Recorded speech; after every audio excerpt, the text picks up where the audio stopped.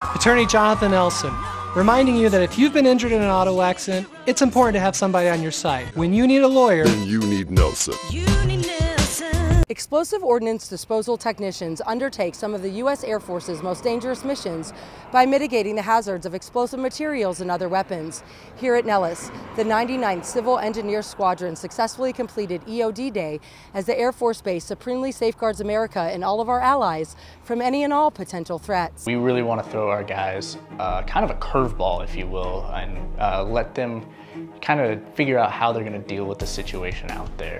So we're going to be placing a couple of these landmines out here. The three phases of a RADR are RADA, which is the Rapid Airfield Damage Assessment. Our EOD teams go out with engineering assistance and survey the runway and look for damage. The second phase is REHM, which is Rapid Explosive Hazard Mitigation. EOD technicians swiftly and safely disposed of and or removed unexploded ordnance items. For phase three, we have the RADR, so Rapid Airfield Damage Recovery.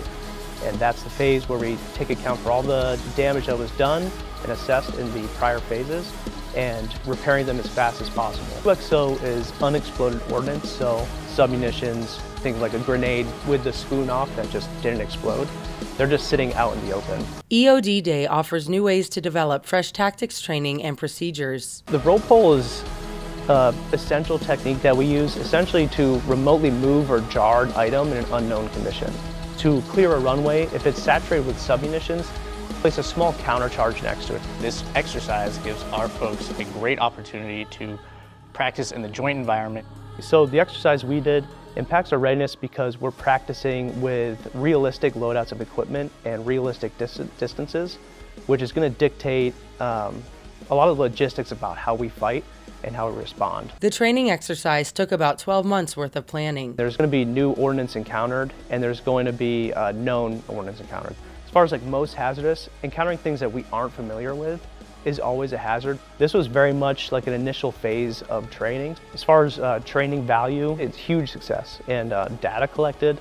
Um, these types of exercises are the best thing we can do. On behalf of everyone here at KPVM Television, thank you so much for your service.